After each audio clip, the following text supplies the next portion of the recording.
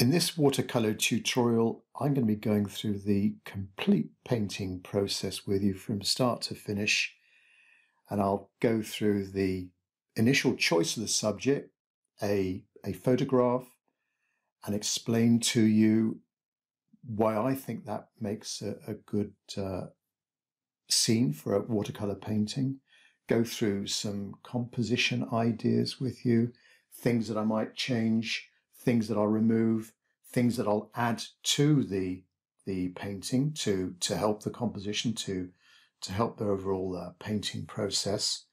Then I'll go through the complete painting process with you from the initial drawing and laying down a wash. We're going to cover lots of different watercolor techniques, laying down a wash, going in with darker values, adding in the detail, lifting off, we'll cover that as well, lifting off, dry brush marks, wet in wet, how to how to paint a tree, how to create realistic rock shapes as well, and the texture of rocks, and those all important values.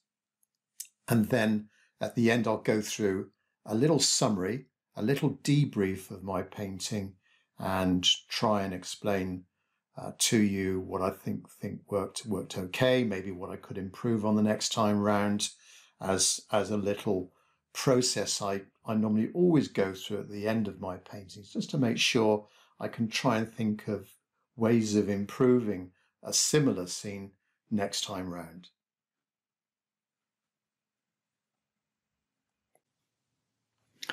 This is my reference photograph, kindly donated by Patreon member Doyle.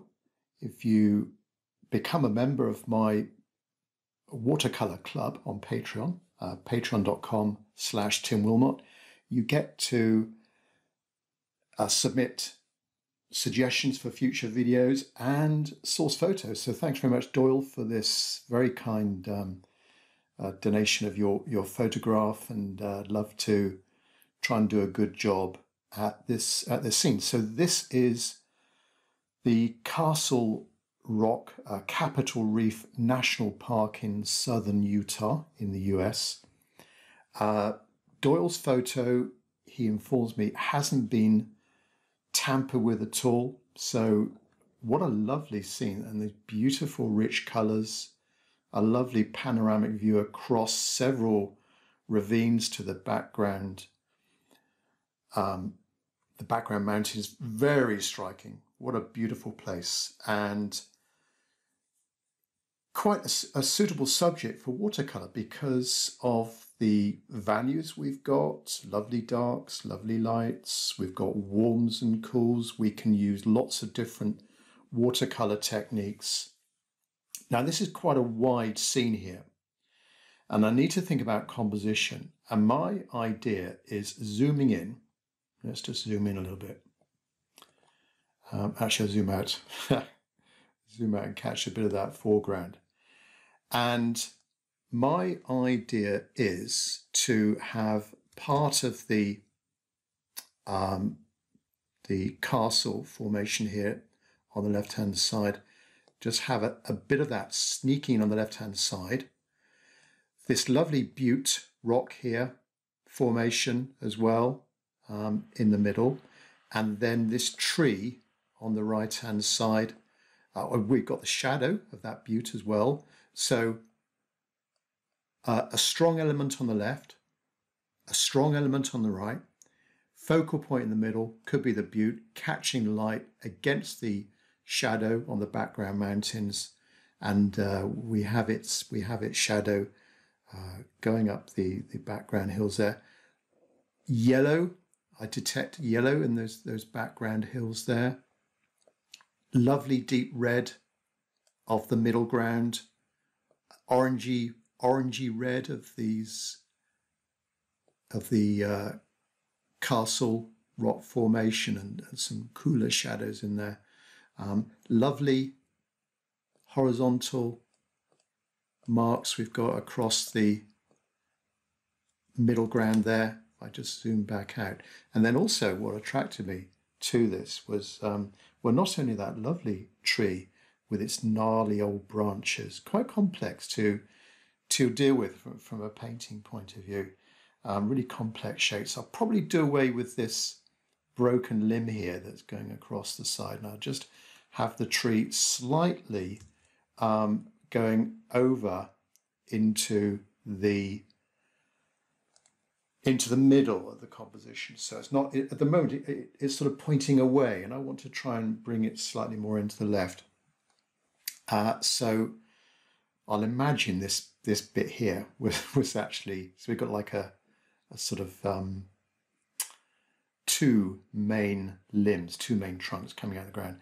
Uh, but I was going to say, look at these lovely blue-green grasses and the contrast of those against the red soil, the red ground, and also, if I just zoom out a little bit more, um, also these rocks as well, and the contrast. Look at this one, the contrast of that rock there, that light rock against the darker background. Beautiful. Um, and then a lighter rock there against the darker background. A little bit of soft, darker shadow. Talking about shadows, uh, zoom in here. This lovely dark vertical shadows, beautiful. And just about detect some bluer color in, in the cooler color in those shadows. Some faint horizontal lines on the background hills as well. Some softer shadows, just creating the, the form of that butte. Uh, so we've got a vertical side, then these these rocks, I guess they crumble down with erosion. They form this little little slopy ledge there and then it sort of tails off. Yeah, beautiful scene. Let's see how we get on. So first step then, the outline drawing. And I'm painting, I'm going to be painting on Saunders Waterford watercolor paper. This is cold press and 300 grams in weight. So cold press is medium texture, medium roughness. Got a little bit of a surface to it. And my outline drawing is with a 3B pencil. So I'm going to create fairly dark lines that I will use to obviously help me in the painting process. So I'm just really getting in the main shapes of these rock formations concentrating on the main ones.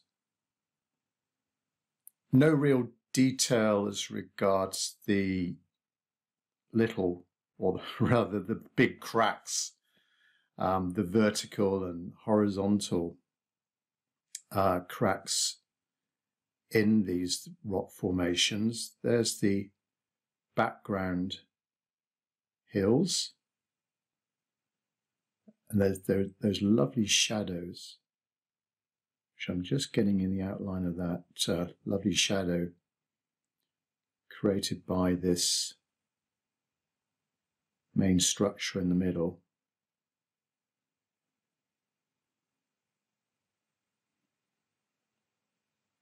A few horizontal, just marking those, a few horizontal lines.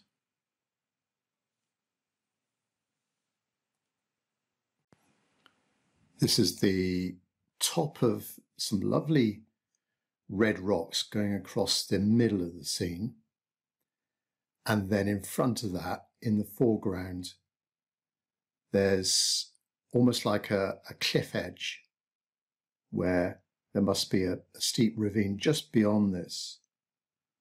And that lovely arch tree on the right hand side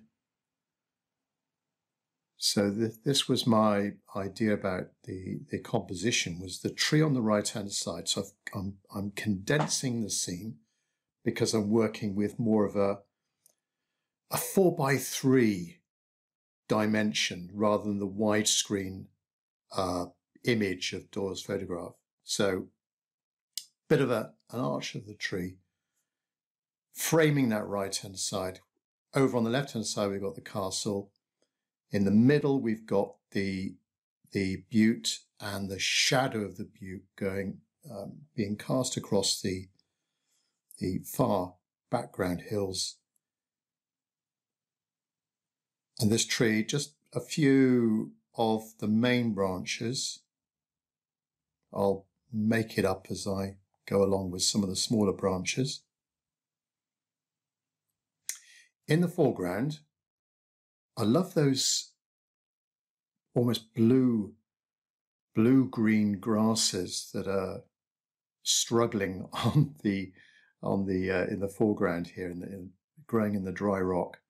Um, but I, I love their form and that blue against the red of the rock, that cool against the warm, that would make a a nice feature, I think, as regards the colour scheme. Now, I've chosen to put in three clumps, and so a couple close together, then one a bit more spaced out.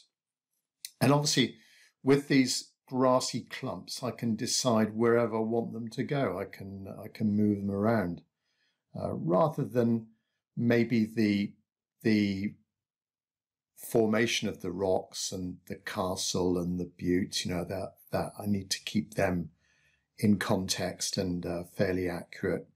But anything that's growing, a tree, grassy clumps, I can move those wherever I want to, just, just to suit the composition. That's the drawing done then. Next step, on with some painting. And I will describe my colour palette to you.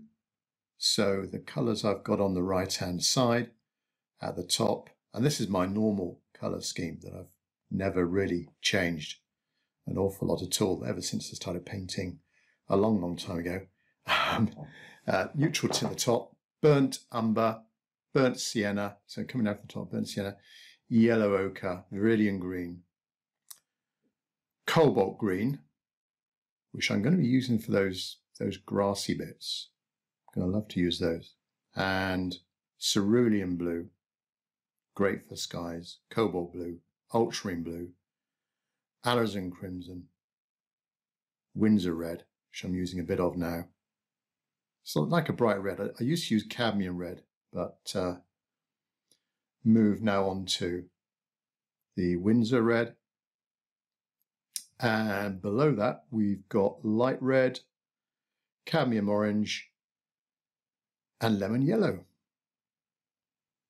I'm starting off by painting the castle or the right hand edge of the castle. Then a little bit weaker for the mountain range in the background.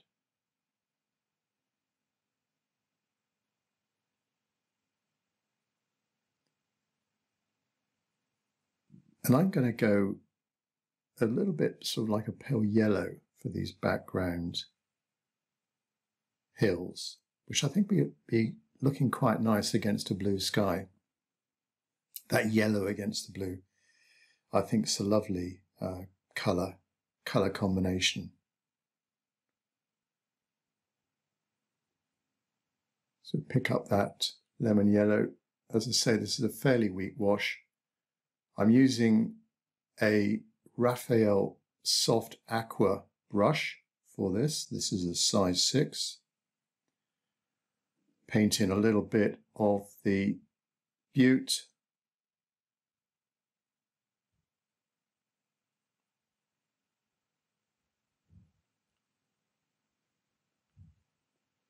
Tiny bit darker as I come down to the middle of that butte.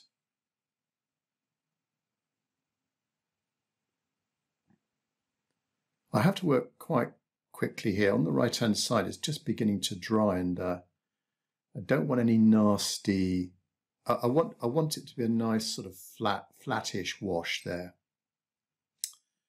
Just moving things along with my finger. Good thing about fingers is that sometimes when you've got um, a little bit of oil on your fingers or natural oil, uh, you touch you touch some damp. You touch the damp surface that, you painted, and you the, the paint just sort of disperses, and you get a. Sometimes you get some nice marks. It's worth worth a little bit of experimentation with. Now here's the base color of the middle ground. And with my brush strokes and the angle of the brush, I'm just getting in some random marks here, not really a traditional way. There I use my fingertips again. You might just see as, as I as I touch the paper then it the, the paint just suddenly dispersed and you don't get a, a finger mark as such. Bit of lifting off with that brush. I could have wet the brush. I could have um, washed that brush off and got got a little bit of the moisture out, but I just went straight in in for it. You can sometimes get away with it with a dirty brush, a dirtyish brush. Now this foreground very rich, but it will dry lighter. It might seem quite bright at the moment, but it will uh, dull down a little bit. And it will look lighter when I go in with the shad the, the, the darker middle ground that's going to make the the foreground instantly pop hopefully um, appear a lot brighter.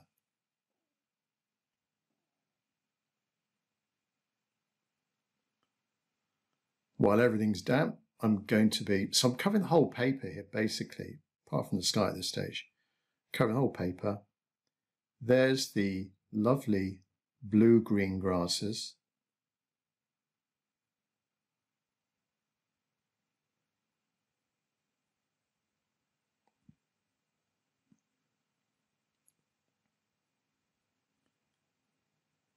just drop a little bit of that colour into the foreground as well.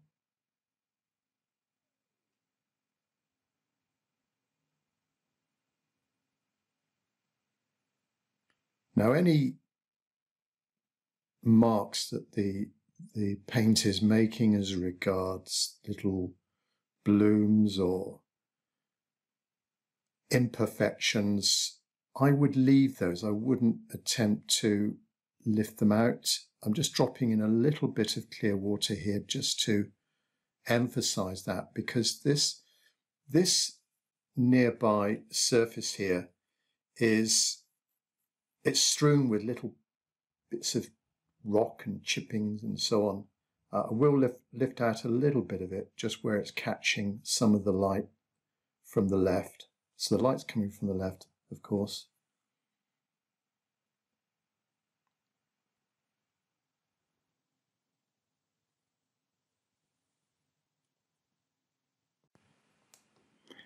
everything has been allowed to dry now. I've speeded up the video. Things have gone a little bit lighter, as you can see. So next step is to get in the sky. I wanted the, the wash of the mountains to dry first before I go in with the sky. Now that's not what I normally do. What I normally do is I paint the sky first. I come I paint the painting from top to bottom and I come down the page and I'll normally drag the sky over the tops of rooftops or the top of a mountain and then come in with the, the background after that and so on down to the bottom. But this, this time I wanted that, that background to dry uh, fully before I go in carefully with the sky, just following that line around here. So it's important to have a brush with a good edge to it, a good point, so I can get in accurately around the ridge of those background mountains.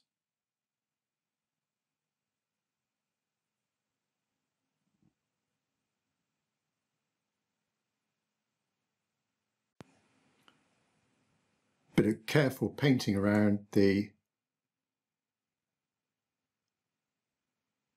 not perfectly flat top to the background mountains. Over to the right hand side picked up a bit of lavender there. Change the brush just twist the brush around to make sure I've got a nice fairly even application of paint. Now I haven't with that sky I haven't laid down a perfect wash I've gone for more of a, a textured finish. I could have pre-wet. I could have pre-wet the sky um, to to give myself a really even flat wash, but I've gone for more of a a textured approach there it makes it a bit more interesting and perhaps the appearance of some distant thin clouds And the lavender I do use sometimes for skies, just to, just so if if, the, if I detect the sky isn't too blue, and uh, I think I think lavender is quite a nice colour to to use sometimes. I do I do also use it for um, backgrounds in combination with burnt sienna. Those two together are really good for background hills. I've draw, I'm drawing the top left corner because I'm going to now start painting the shadows of the castle. And this will start to give the painting more depth and range of values. The lights will appear suddenly lighter. The brush I'm using is more of a medium sized brush. I'm mixing up a bit of cobalt blue. There was a bit of red in it as well. And neutral tint from the top. Fairly dark, but the shadow isn't black. It's going to be, it's going to contain the colours of the rock so it's got to have some warmth to it, yet a, perhaps a little bit cooler as I come down. So that's why I use a bit of cobalt blue in those shadows. So across the top of the castle, some horizontal marks, It's important here have, I have a brush that's got a good edge to it. Not too much water on the brush. This is this is thicker paint in consistency than the initial wash I did. So more paint to the water ratio. I'm painting now these very important vertical cracks down these massive cracks down the the front of the castle, which is which are creating a bit of drama. There's lovely, um, as I say, the lovely contrast between the, the, the dark of those shadows and the the lightness of the bits of the, the castle that's catching the light.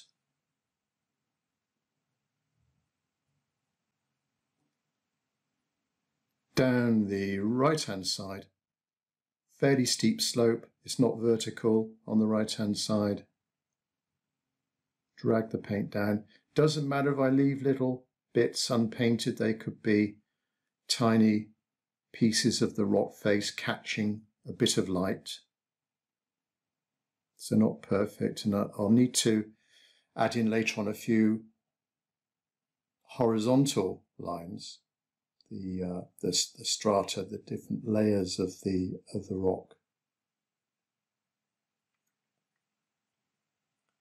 Now for the background mountains, the shadows in the background.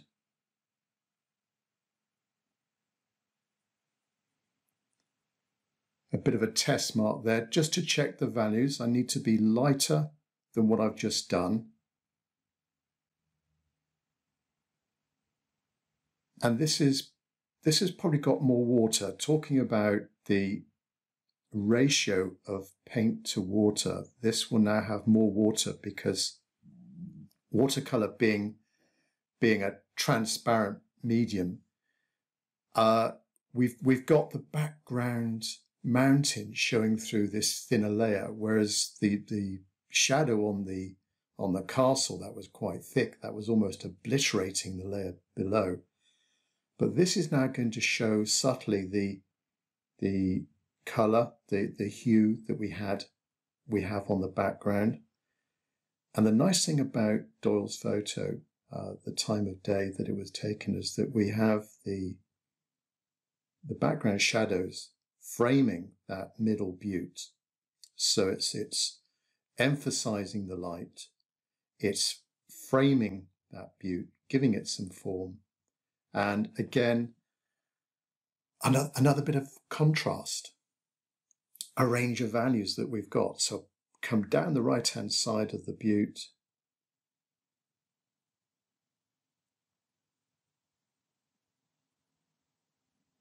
Use my fingertips again just to lift off or move the paint just in it, just a little bit where I want it. Being careful not to actually smudge it too much.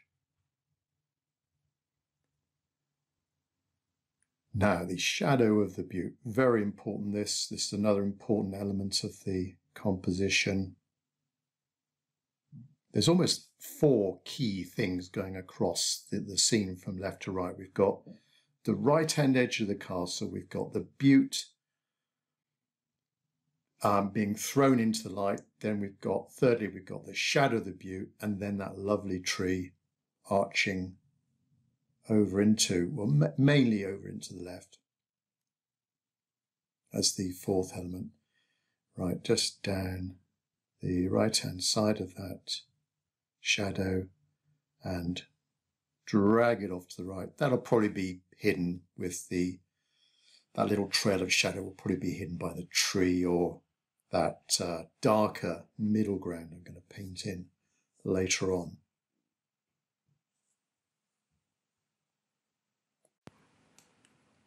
Next, I'm going to paint the middle ground with a fairly rich red, the dark red colour and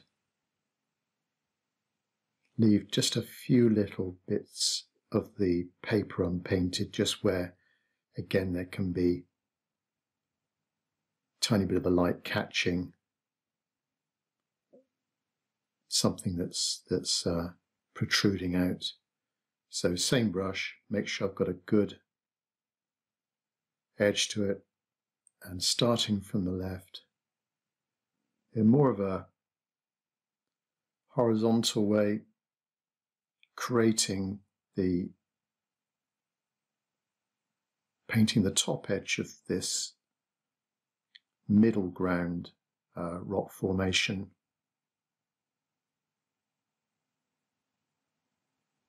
I'm giving myself quite a hard edge along the top.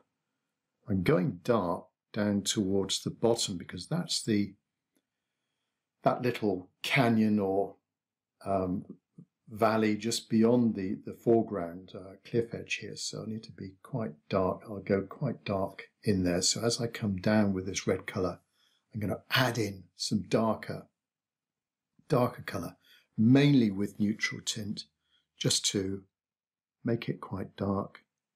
And the other important thing here is creating the, the actual, by painting around the grass with a brush and a sharp edge, I'm creating those little uh, grass, bits of grass, the, the, uh, the leaves of the grass. They're quite sort of stiff, bluey green leaves which will suddenly give them some form. And also I need to give form to the very edge of the, the platform here. I think uh, where this photograph was taken from, I think it's quite a popular location for taking photographs.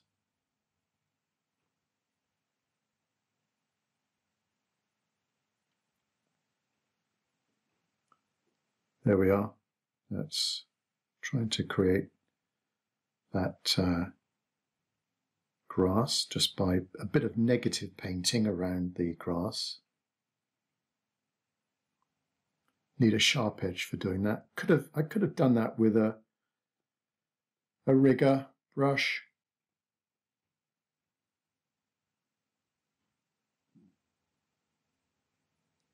Over to the middle.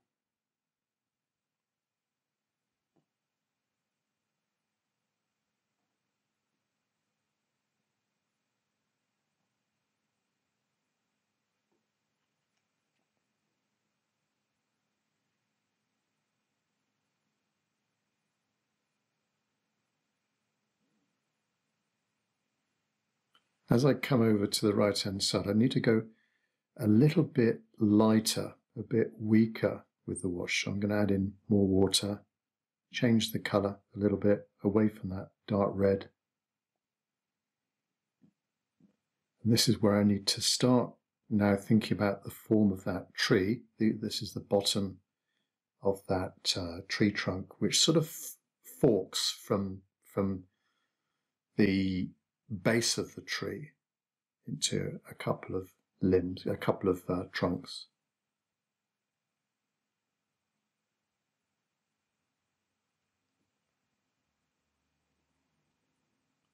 So just add in a bit of thicker colour there to the this red rock just to give me some soft dark areas.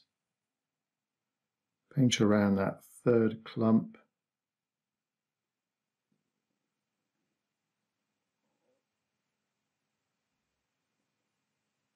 And then around the right hand side of the tree.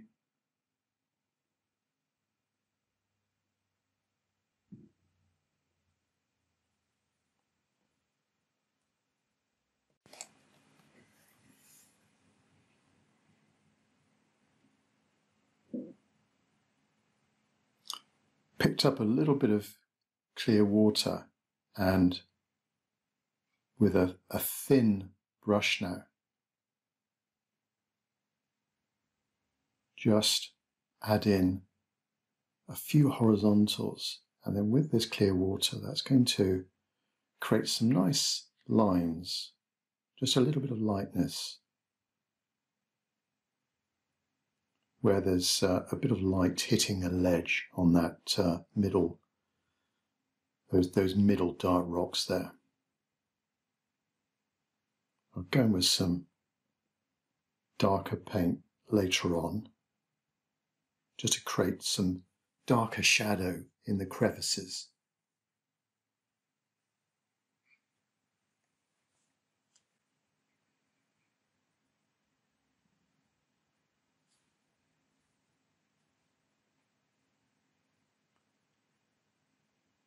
Back to these grasses and with that thin brush mainly on the right hand side, just where on the opposite side to where the, the sun's coming from, just creating a few little vertical strands of the, of the grass.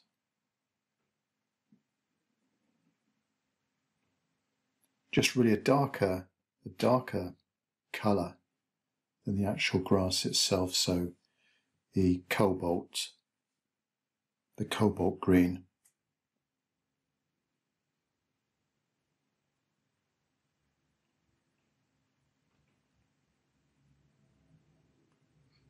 And after I've done this, I'll go in with a bit of shadows behind it.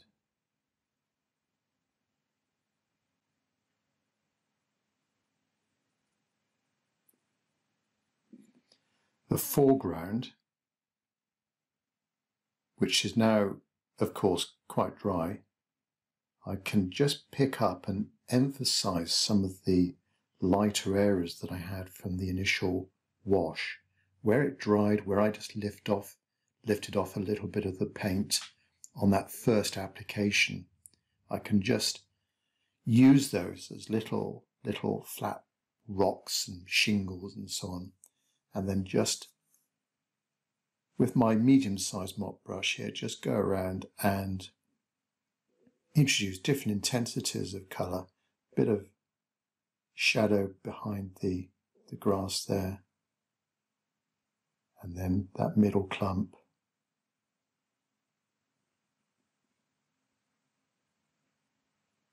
Don't want to be too detailed with the foreground. Try and keep it fairly loose and just giving the impression of the this uneven surface and some of these little little rocks and boulders. I use the same technique for if I was doing a, a beach or a, a, pebbly beach or any sort of rock rocky uh, surface. Um, so just lay down lay down the base color and then maybe going with another darker color going around the rocks and then a bit of darker shadow behind some of those lighter areas just to create some form to little stones and, and boulders and so on.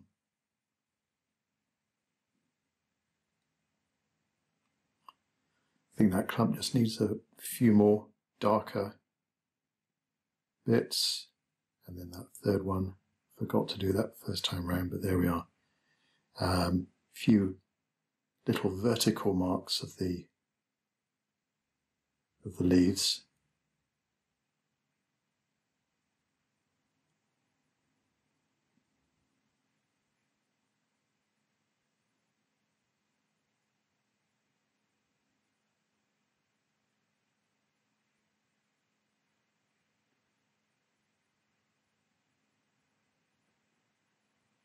That creates a nice, this darker paint creates a little bit of a, a nice soft shadow in some of those, behind some of those rocks.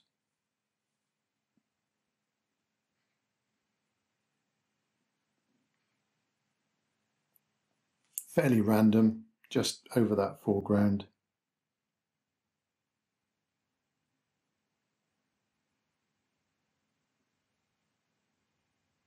Neutral tint.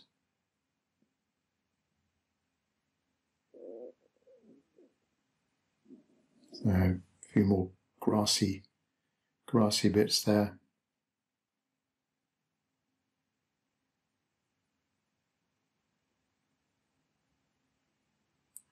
Bring that shadow, that middle clump shadow, over to the left hand grass clump.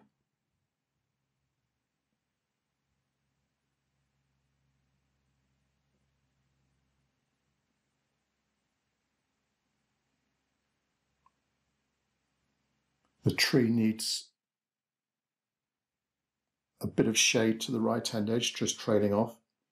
Not too thicker shadow, but that's, that's going to create a nice bit of form to that, that right hand edge.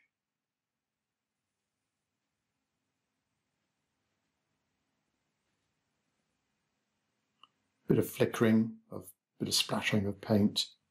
So I picked up picked up a small brush, bit of paint on that, tap it against my finger. That's a bit more controlled. You could also hold the brush horizontally and then just tap it with your your finger. But it's a bit easier to control when you when you tap the brush against your finger, holding the finger still. Be a little bit more controlled.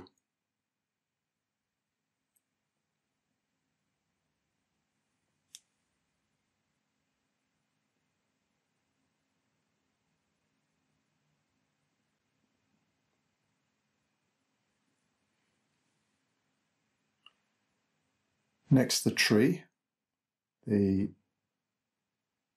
the top parts of the branches, which might be a little bit in shade.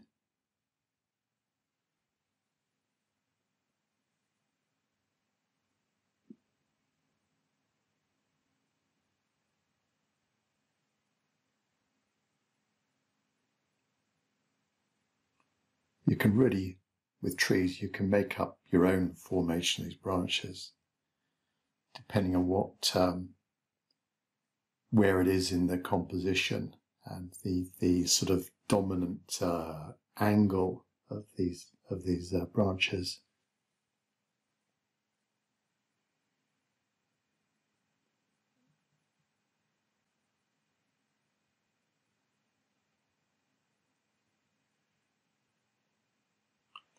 That's burnt umber I'm picking up there. Fairly thick mix of burnt umber and then this viridian green. I think that gives a nice foliage colour for trees, that combination. Um, if it's not green enough, I can add in a little bit of yellow from the bottom there. And then just test that. Now I need to, I'm looking at the photograph and seeing every tree has a different overall shape of the canopy, um, whether it be a whether it be a, a, conical shape or like a column or a, or a dome or a ball. Um, this is um, is quite a it's quite a sparse canopy, not a very dense canopy. We can see a lot of the the background through through the canopy, so it's not too dense. And then we've we've got these groupings of, of leaves. Have a few wayward leaves outside the the general um, canopy area. And I need to be consciously thinking about not to make it too perfect, not to make it too symmetrical, fairly random in my grouping of these uh, of these leaves. And also introducing different strengths of green. And on the right hand side, being away from the direction of the sun, going a little bit darker on the right hand side.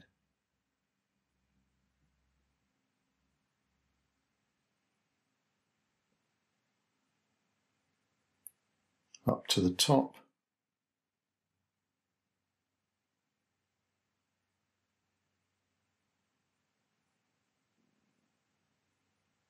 I'll paint in some thin branches later on just to connect up some of those outer outer leaves.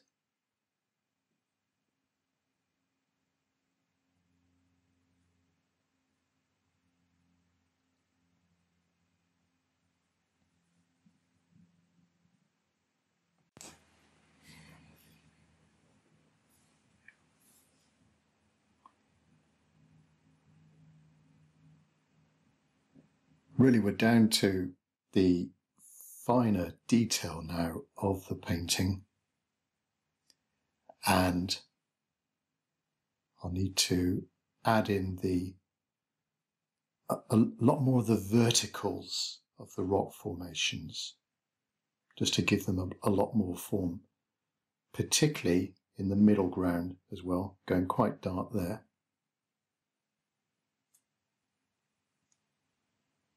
I'm using a, a small synthetic round brush now. It could be anything. This, this one actually is a, I think it's a Michael Klein painting um, brush, synthetic brush. Size six, I believe, and quite nice for getting a good point to it.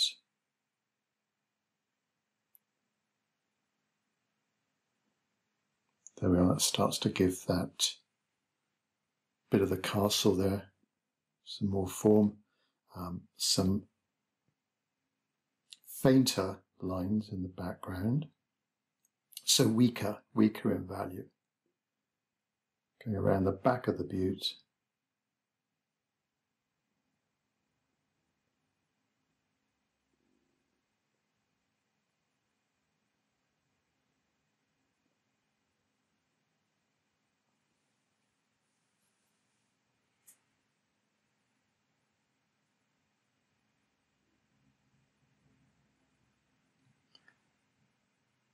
thinking about the sequence of steps. So I've got the, I put those shadows in first, and then I can go over with these darker horizontals as the as a, a later stage.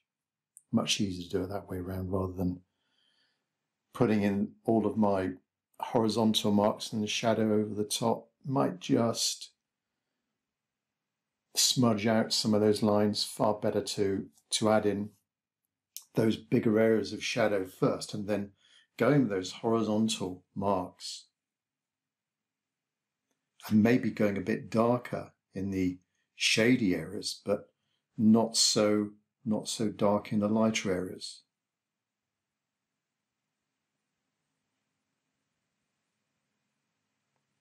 I want to pay a bit of attention to the the buttes here because it's quite an important it's almost like a focal point of the painting.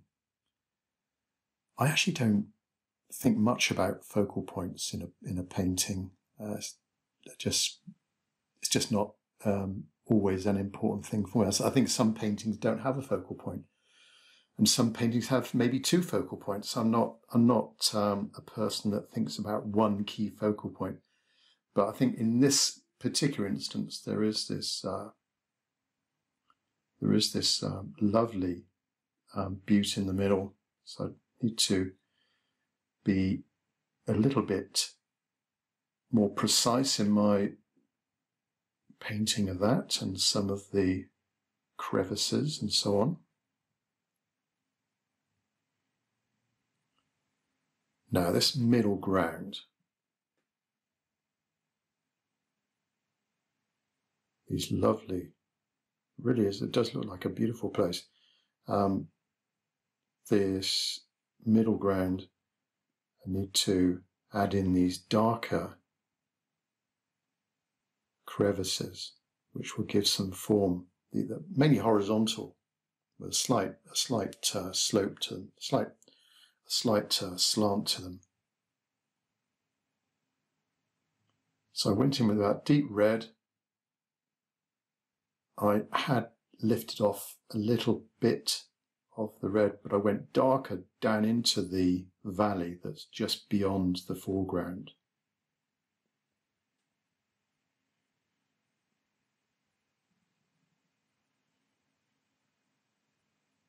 This is one of those subjects where you need to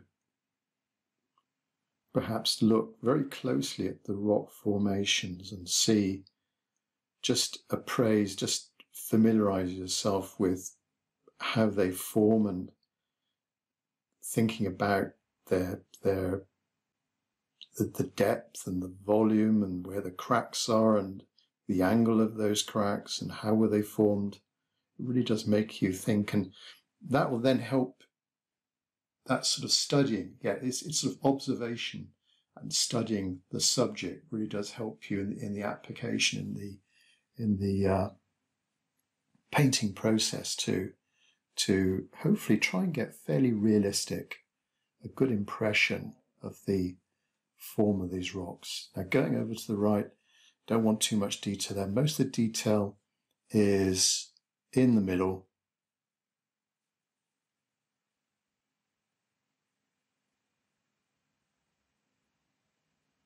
Tiny bit over on the right hand side.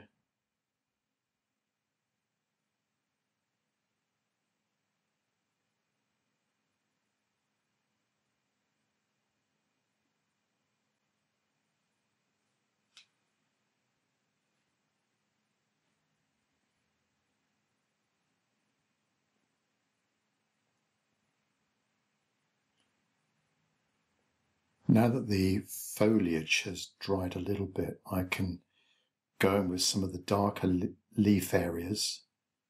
If I've done that too soon, after I, I painted the first leaf, first uh, bit of leaves, I would have got soft edges. I want harder edges here. That the sun is stronger, so I need a, a harder edge. So that's why the the the leaves of the light green leaves, they've dried a little bit, go in with a bit of darker colour here and there.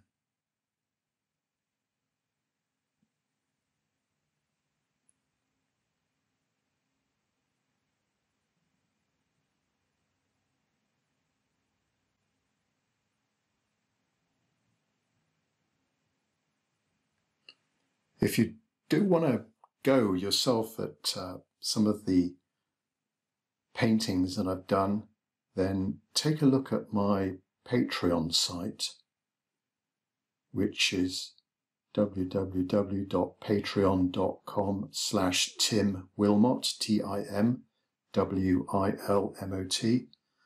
Up there, I have a lovely community of watercolor artists from all over the world, and I set monthly painting projects. Plus, there's loads of other postings there and live streams, regular monthly live streams. But once a month, I do set painting projects based on videos. If you're up on, if you're a Patreon member, you get to see these videos before general release on YouTube. So I, I tried to give a, a, sneak peek of these videos to to my uh, Patreon friends, and uh, who knows, this might be a future painting project. You never know, but you get a critique as well when you take part when you're a participant in the in these painting projects. Then you get uh, critique from me, and depending on the level, it might be it might be a short text critique or it might be a longer video critique where I actually create a little video for you and just give my appraisal of, of your painting and things that went well, things that, in my opinion, may not have gone so well or could be improved on, or some extra hints and tips for you. So please take a look at my Patreon site, patreon.com slash Tim Wilmot Love to see you up there.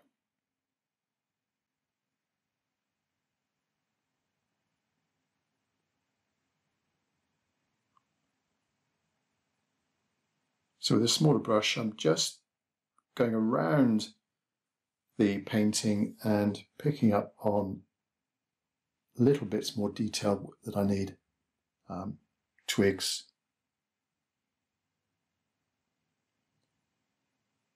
addressing any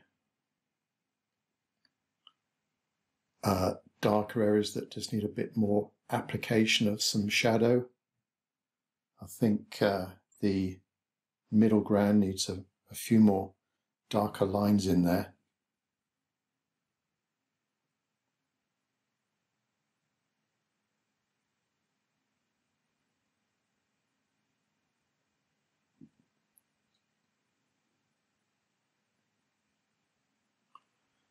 for me, what works well in this picture, as well as the big range of values, the the big the, the areas of darkness, the areas of lightness, are the, are the warms and cools. So we've got the cool sky, then the warmer middle ground, and a lighter value for the foreground, and the, those cooler grasses, which I, I think uh, look lovely. Um, they certainly in the photograph may not may not be so lovely in the painting, but that's that to me that's a pleasing combination that coolness against the warmth. Blues against yellows blues against reds. Few little dots yeah. I could have done a bit more splattering to be honest with you. Just to create these little create the impression of some stones or chippings in there. I don't want to overdo some of that grass. I want to be conscious of not overdoing it.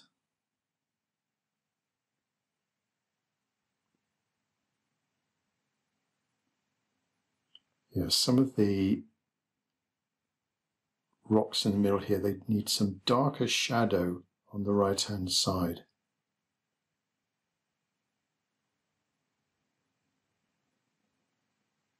And I can go around some of those lighter areas as well. So to the right hand side of the lighter areas.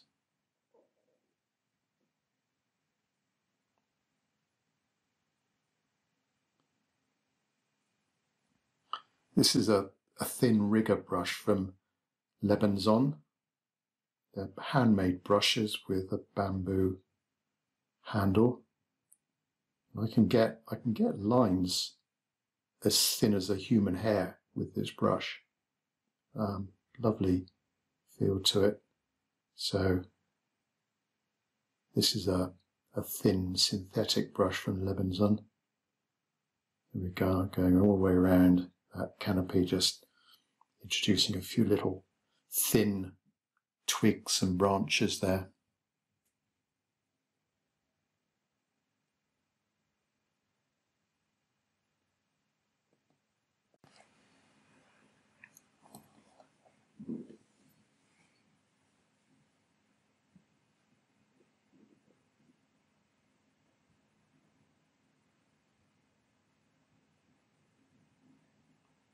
I use this rigger brush down down the foreground just a tiny bit. Could have actually used this brush for the grass. That could have been quite nice with the when I was doing going back when I was doing that middle red splurge across the middle. I could have just um, while it was quite damp, I could have just used a, a thin rigger just to drag it down into the, the top of the grass shapes to get some um, very finer lines coming down. The benefit of hindsight. There we go.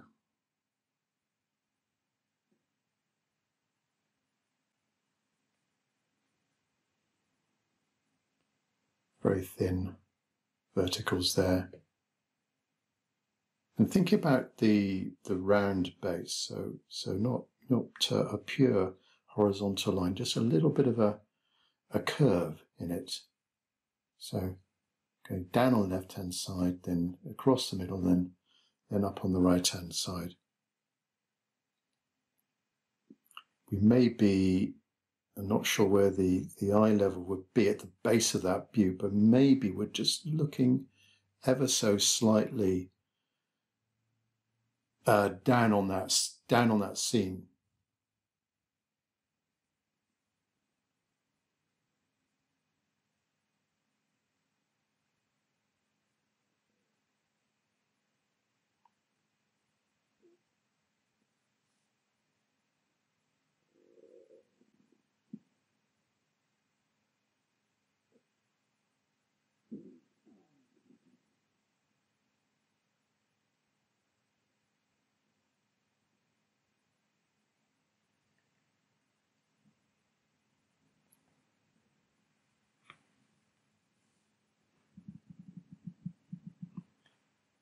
This brush hasn't got much paint on it at all now. It's just really very little tiny marks it's making.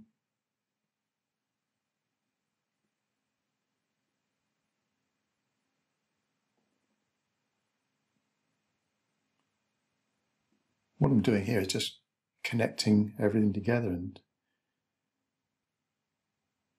with those those thinner marks it just those little marks can make an awful lot of difference.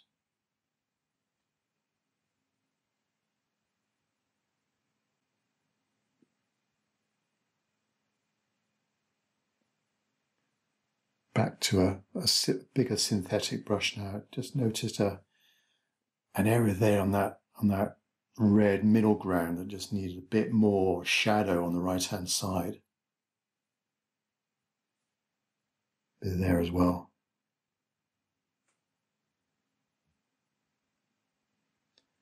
And I think I'm done. I'll hop now into the summary.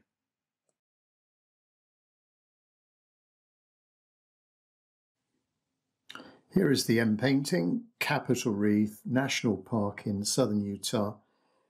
A lovely scene to paint in watercolour and as I normally do with my paintings, do a little debrief with myself, just go through what I thought worked quite well, what I might improve on next time around. But a lovely scene to paint that capture my imagination. Lo- lovely colours, lovely contrasts, a depth to the painting. It had a background, had a background there, had a had a middle ground as well, and these lovely um, clumps of grass in the foreground. The Also, the contrast of the cools against the warms, that cool sky, the warm uh, background hills, and then the warmth of the, the middle ground against the coolness of those grasses.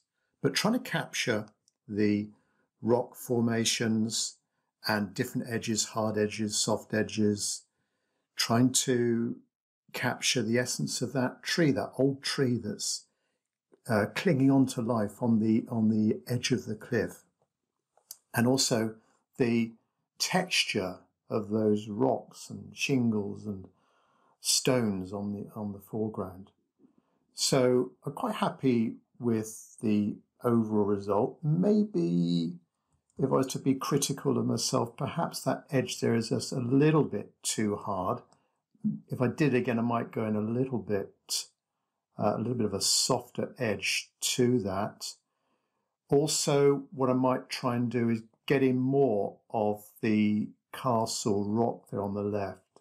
Um, possibly if I move the whole thing to the right a little bit so that butte was more um, there, if you like, and this rock came over a bit more so we can get more of those lovely um, vertical shadows in there.